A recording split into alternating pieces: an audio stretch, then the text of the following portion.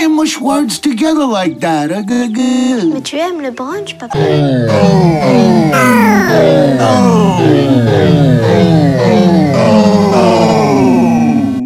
Guilty as charged.